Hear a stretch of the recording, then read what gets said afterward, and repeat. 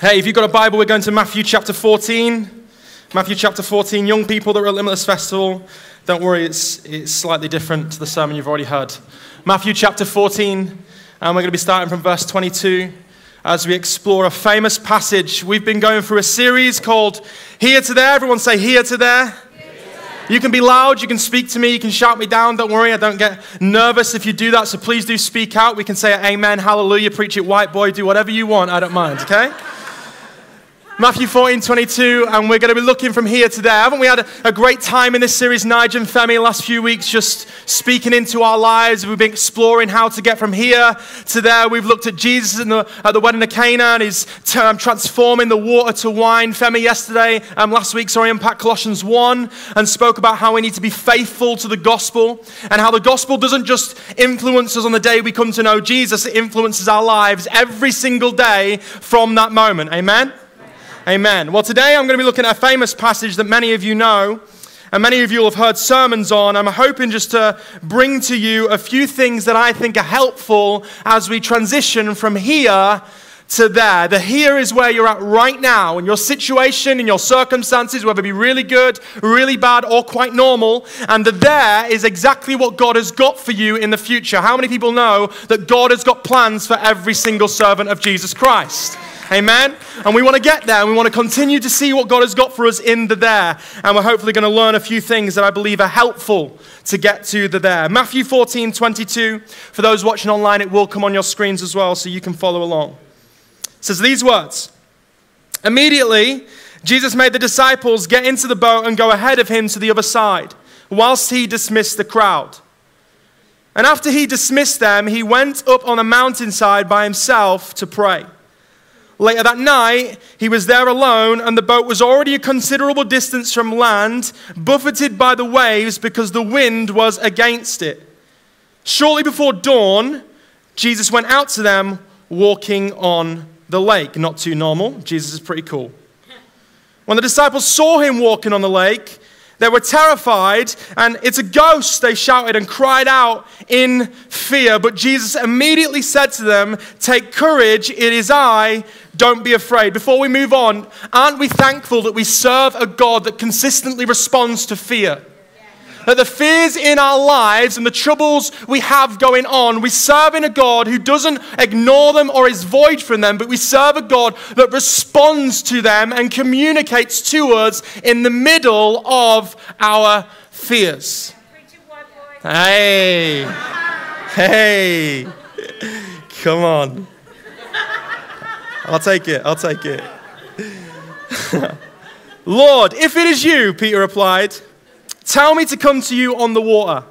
Come, he said. Then Peter got down out of the boat, walked on the water, and came towards Jesus. That's some power right there. That's a cool story. I wish I could do that in front of the young people because they'd like me a bit more. But when he saw the wind, he was afraid and beginning to sink, cried out, Lord, save me. Immediately, Jesus reached out his hand and caught him. You of little faith, he said, why did you doubt? And when they climbed into the boat, the winds died down. Then those who were in the boat worshipped him, saying, Truly, you are the Son of God. And when they had crossed over, they landed at Gennesaret. And when the men of that place recognized Jesus, they sent word to all the surrounding country. People brought all their sick to him and begged him to let the sick just touch the edge of his cloak, and all who touched it were healed. Lord, bless your word and allow it to shape our hearts. Amen. Why don't you high five three people and say, We will get there. We will get there. We will get there. We will get there. We will get there.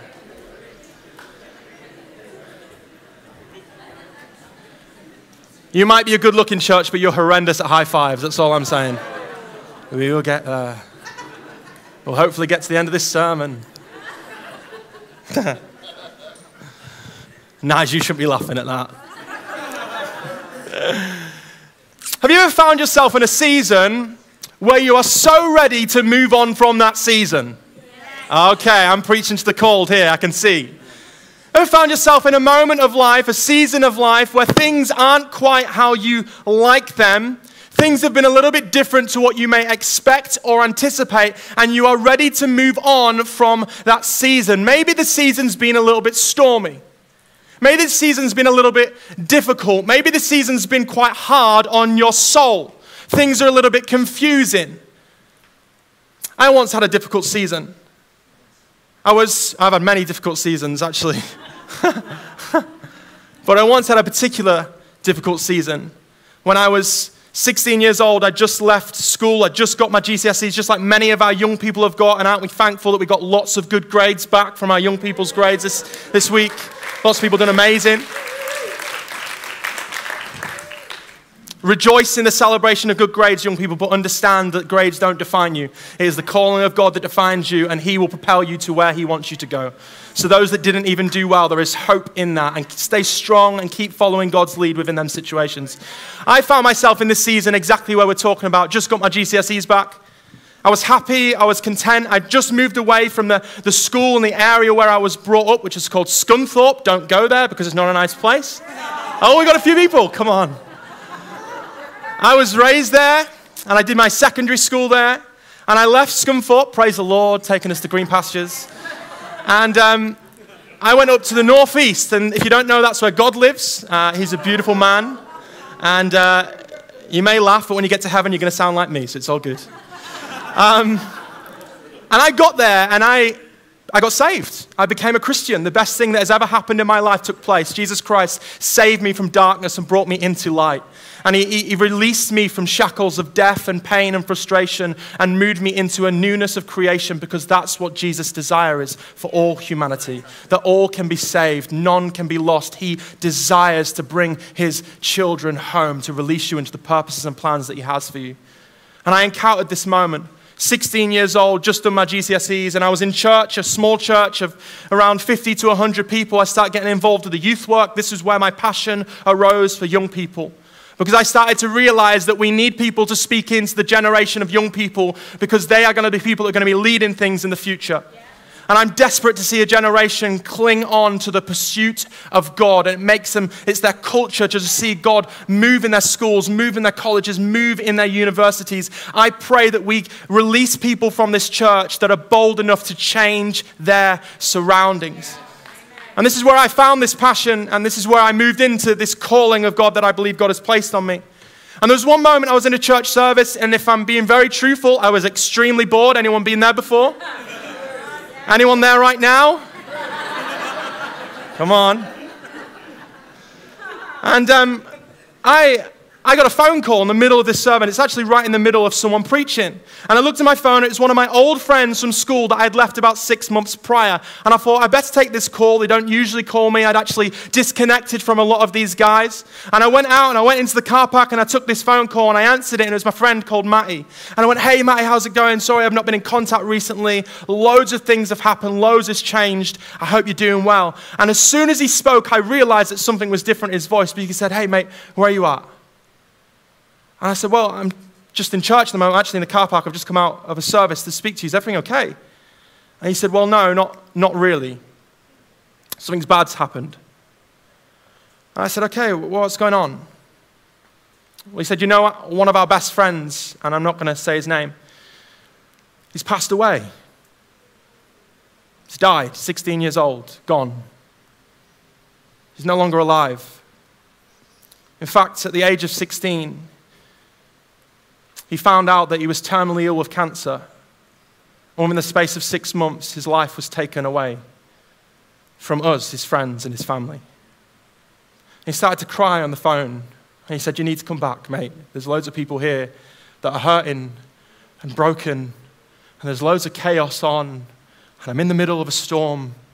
So I got on the first train that day. My mum and dad, and I love my mum and dad, paid for me to go there straight away. And I traveled two hours to get to Scunthorpe. I got off the train.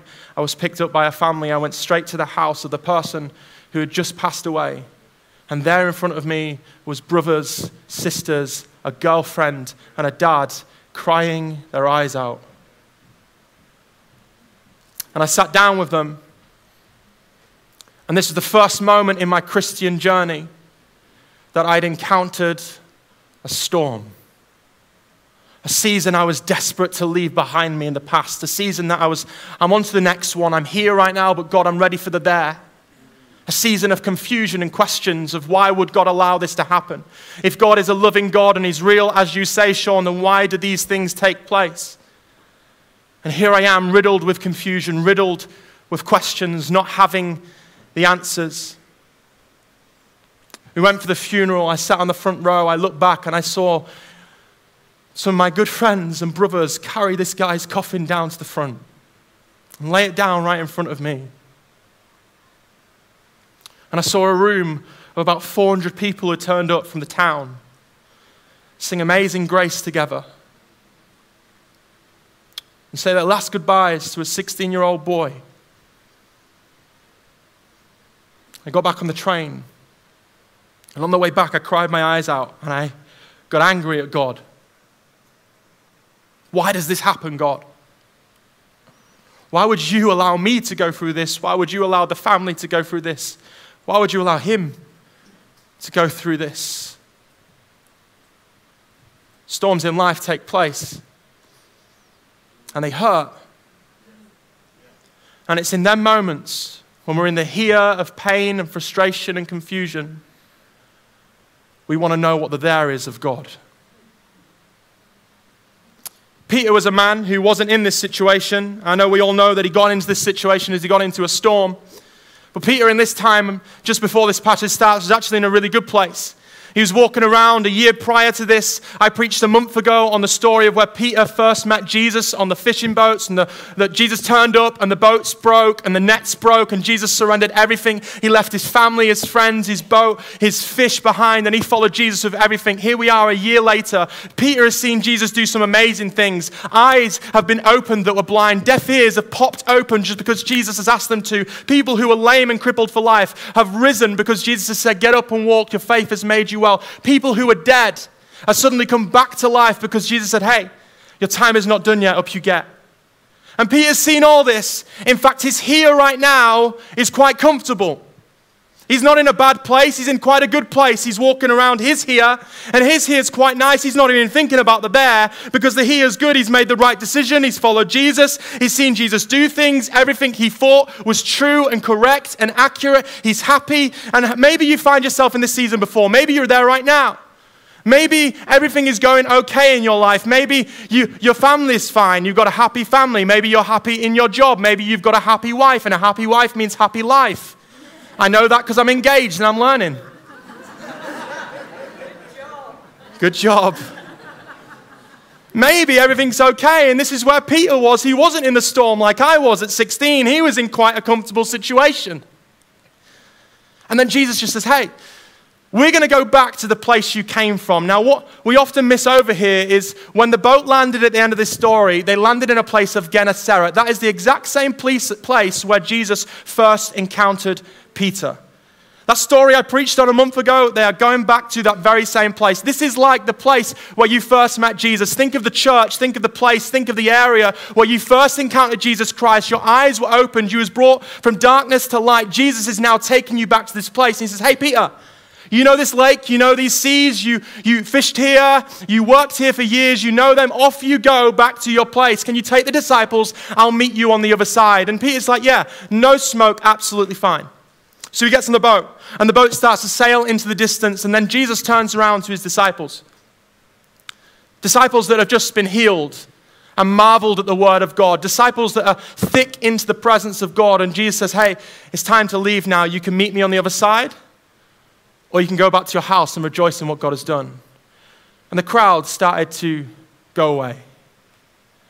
And then we come to a, a verse that I believe is so crucial to us understanding no matter what your season is right now, and no matter what your here looks like right now, it is so crucial to understand that this is a prominent verse and command of in Scripture to get to the theirs of what God has got for your life. It says these words It says, he went up on a mountainside by himself to pray. To pray. Nothing astounding, no major miracle, nothing drastic, nothing that jumps off the page and hits us in our heart. It is just a simple verse that we often go over, but it's there for a reason. And what I find interesting is Jesus didn't turn to his disciples and say, Hey guys, can you leave me now because I'm going to pray? You guys can be unholy over there. I'm going to go be holy in this corner. I'm sitting in the holy corner, Shabba Shaka, kind of Coke, Pepsi. Let's go for it. he didn't say to his disciples, Hey, you guys go and fight the waves and get to the other side because I'm going to take the holy route and I'm going to fast and pray over here while you continue on your business. He didn't do that. He said, Hey guys, can you leave? I'll meet you on the side. Hey guys, can you go away? He hid the fact that he was going to pray. Why did he do that? The reason why he did that is because there is power in the secret place. There is power in the secret place when nobody knows, when nobody sees. No Instagram, Snapchat, Facebook, Twitter, nice little photo over the top with a coffee mug and a pen and paper, nothing at all by himself to pray. You see on the screen here Matthew 11 and Psalm 91. And I love Psalm 91. Many of you will have heard these verses before, and it's been speaking to my life recently because it says these words Whoever dwells in the shelter of the Most High will rest in the shadow of the Almighty. Whoever dwells in the shelter of the Most High will rest in the shadow of the Almighty. And what God has been saying to me, and I think this helps us as we go from here to there, is this word shelter literally indicates something of privacy. It indicates something of being alone inside. In fact, the Hebrew word for shelter literally means it will absorb people who are desperate to get into it. It's not just for people who are just striding in and who are just ready for an encounter with God. It's a people whose culture has become pursuit. I will do anything and everything to find God in my situation, in my workplace, in my marriage, in my family. That is my life ambition that God will be glorified in my situation. No matter what your here is, I will find the shelter of the Most High because there's power in the secret place. Why is the power in the secret place? Well, it goes on to say this that when you dwell in the secret place of the Most High, you will rest in the shadow of the Almighty. Shadow indicates something of a public statement. The sun coming down on God, and you are resting in his shadow. God is not resting in your shadow, you are resting in his shadow, for he is the main part of the story when we read the gospel. This book has never been about finding us in the pages of this paper. This book has never been about where do I rest, where do I lie. This book is all about exalting God and showing that He is the main part of the story, and we get to participate with Him in the grandeur of His mission in this world. And that is something to celebrate about. You know, your private informs your public. What you do by yourself will eventually manifest itself in the public eye. That with God there is no secrets. Do we understand that? For our historical context is that for too long we've been trying to hide from God. Genesis 3, we made a mistake. He comes walking in the garden, Adam and Eve immediately hide, and we have been hiding ever since. But God, in your brokenness, wants you to come to the secret place with Him. Why? Come to me, all who are weary and burdened, and I will give you what? Rest. Not rest you will find on a holiday. Holidays are good. Don't get me wrong, I can't wait for my honeymoon. Praise the Lord, hallelujah. but you find a different kind of rest in the secret place. You find a different kind of rest when you are alone with God. A rest that can only come from that source of God that will replenish your soul. It will commission you into your workplace to be a pastor of your groundings. How much would your workplaces change if you decided today, from now on, I am going to be the pastor of this workplace? What would change in your sight, in your life? Instead of going, there's loads of things going on, I need to find a pastor to help me. What would change if you became the pastor of your office, of your workplace, of your situation? If you adopted the mindset of, I am here to serve these people and be a servant of grace, not just a receiver of grace, things start to change because there is power in the secret place. Without the power of the Holy Spirit, the church will always remain within the confines of the upper room. The upper room is where the disciples waited for the Holy Spirit. And if we don't receive the Holy Spirit, we will remain fearful inside of the church instead of taking place and power in the public place. The church was designed to move outside of the walls. God is far more interested in our sending capacity than he is in our seating capacity. Can we hear that as we look for a new church? God is more interested in how much we send people into the world than he is in how many bums we can get on the seats for the missions in the streets is far more important than the bums on the seats. And I made that rhyme to make myself look cool, which didn't really work. It's power in the secret place. Jesus then goes from the power of the secret place and he goes on to do one of his biggest, most greatest miracles that we've ever seen. Skeptics know this miracles, atheists know this miracle, agnostics know this miracle, and it is hugely criticized because who walks on water? Has anyone in here seen anyone walk on water? Of course we've not. Because it is only the Son of God that can do such a thing. And here he is walking on water, and everyone knows this story, and lots of things take place within this story, but it comes from the power of the secret place. And then he starts to walk on the water, and what starts to take happen? We see storms are happening. Here I find myself as a 16 year old boy in the middle of the storm. Questions, frustration, and anger. And I wish I knew back then that there was power in the secret place because it would help me a lot. And here I am in the storm, in the battles, not knowing what's going on, lots of confusion, lots of questions, lots of aggravation in itself. And Jesus comes walking in the middle of the storm. You know, Jesus walks on the water that you find yourself drowning in? You don't need me to tell you the Greek word for lifeboat, but you need, to tell, you need me to tell you that Jesus walks on the waters that you find yourself drowning in. That he's involved in the situation. The disciples what do they do? They turn to the side and they shout out something. It's a ghost! Screaming, fearful, not knowing what's going on. It's a ghost, it's a ghost. The waves are kind of going around. Why on earth do these guys not recognize Jesus, even though they've been following him for the last year and a half? Why do they suddenly go to the conclusion it's a ghost and they get scared and they get fear? Well, I believe sometimes the storms of life can easily take our gaze off the King of Kings. And when that happens, we get confused. And not only that, in the storms of our life, Jesus loves to be within the storm and not just void of it. Jesus isn't void of your suffering. And Jesus isn't void of the suffering of this world. Jesus is partaking in it because he loves us. And he desires for us to understand that he loves us this world doesn't need to hear what they're doing wrong and what they're doing right. This world needs to hear that Jesus can relate to all the pains that we can experience in this world.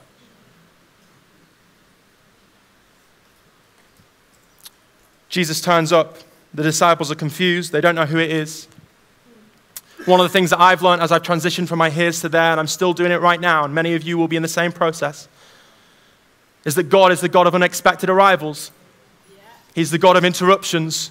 He's the God that turns up in the mundane, normal situations. He's the God that doesn't just turn up in the miraculous, big lights, great speaker, great band. He's the God that turns up on the Monday morning whilst you're having your coffee, getting ready for your day. This is the God of interruptions, the God of the coffees, the God of the lunch with your colleagues, the God of your workplace, the God of small conversations. And He gives you the responsibility to enter through the doors that He opens for you.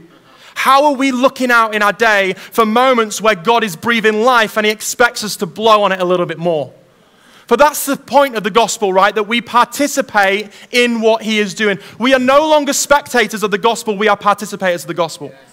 And let me tell you something if you are currently a spectator of the gospel and you come to this church and spectate the gospel, you will soon get bored of this church and you will soon get bored of those preaching and singing because I don't have enough in me and I can dance, sing, and do as I like to entertain you, unfortunately. The world has got far more greater sources of entertainment than I currently have, and Mark has, and Nita has, and the team has, and even Nige has. And he's a funny guy.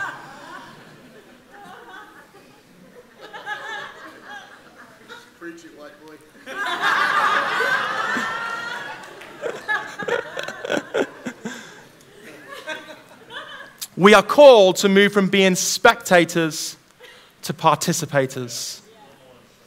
The gospel is there to be used and worked and chewed through and motivates you to do your day. The gospel can change lives in your communities, in your family, in your marriages, in your children. How, when was the last time that God showed up when you was reading your bedtime story to your daughter or your son? That's the God of interruptions. Yeah. You don't need a stage to see these things happen. We need confidence that God will move in the small and the mundane, not just in the big and the bright and wonderful. I'd love Chris to come forward if that's okay. Hasn't Chris done amazing this morning, by the way? Back on stage, where he belongs. I love that we have so many brilliant teams here, teams that are already starting to prepare for when we finish in a few moments' time. We have teams who serve, and one of the things that I've noticed in this church is people don't get saved because of the preacher at the front, people get saved because of the love in the seats. And there's so much love going around in our teams. And with this whole participator, spectator stuff, let me encourage you look at where you are serving. Find somewhere to excel and allow the fruit of God that God is creating in you to be shared with those around you. You know, most of the fruit of God in your life will not grow on your tree, it'll grow on other people's trees. It'll grow on those around you who you're helping, discipling, loving, mentoring, showing kindness to and grace to. The fruit of your life will often grow on other people's trees for other people to taste it, for other people to see. And how can we allow that to happen with the unexpected God? Finally, I want to close. We're just thinking of Peter in the middle of this storm. And something that I believe we can learn from Peter's life as we come towards the end of this major story that is etched within the fabric of human understanding, that everyone knows that this story, most people have heard it, most people know about it. There's some skeptical about it. There's some love it. There's some that allows it and encourage us. Everyone knows it. And what can we learn from this story? Sure, we can learn the major principles that I'm sure many of you have heard before. That God is with you in the storms. Don't allow the storms to dictate your worship, but allow your worship to dictate your storms. May your worship stand strong when you're in the middle of storms. And God is with you. He is not void of suffering, He is in the suffering. And sure, we can learn these things, but I believe there's something else that we can learn as well. Because this story ends in a peculiar place. It ends in the place, as I said at the beginning, of Peter's first moment where he met Jesus. Jesus is taking Peter on his homecoming. And he comes back to the lands, and I'm sure when Peter gets on the boat with his disciples and he's going to meet Jesus on the other side, there's all kinds of things going through his head. He's excited to see friends and family that he left a few months ago is excited to show people that he's made the right decision in following Jesus, is excited to step off the boat and say, hey, you all need to do what I did a, a year ago because it was the best thing that ever happened, and he's excited to go home. And as he's on the boat, I'm sure visions of his childhood are coming back. He's reliving memories that, he ex- that existed in his life many years ago. Midway through, the storm takes place. Jesus walks on the water. Peter is a little bit skeptical, is a little bit, uh, he doubts the situation. He says, Hey, prove it. Prove that you're Son of God. Let me walk on the water. He walks on the water. He starts to see the wind and waves around him instead of fixing his eyes on Jesus and he starts to sink down. Jesus grabs down, he pulls him up, and he literally throws him back on the boat, and then Jesus gets on the boat as well. Imagine how Peter felt in this moment. Here he is, Peter in his here moment, excited about going home and seeing his friends, excited about seeing all his family that he's left, excited about sharing the good news of Jesus. And suddenly he's gone from here to there, where he's sat in the boat. He's a few moments away from arriving to his hometown and he's dripping wet, embarrassed and frustrated because of the situation. In fact, tears are probably in his eyes because this is a man of pride. It's a man of leadership. It's a man of the front man. And here he is dripping wet, and the disciples like, hey, Jesus, you just give him a moment. He's a little bit wet. Hey, someone bring some towels forward. Let's just dry him off before we get off the boat because everyone's going to be waiting for him. Let's just see if we can help him. Let's see if we can get him a little bit dry. Has anyone got a hair dryer? Because they had them in them days. And here they are, and Peter's sat there, he's drying his hair. No, he's not really. Washing off with his towels. Frustrated, disappointed, feeling ashamed. Peter could have waited to dry off, right? He could have said to his disciples, Hey, you guys just get off the boat. I'm going to stay in here until I feel a little bit more presentable. until I look a, little bit more clean. But he doesn't. Steps off the boat.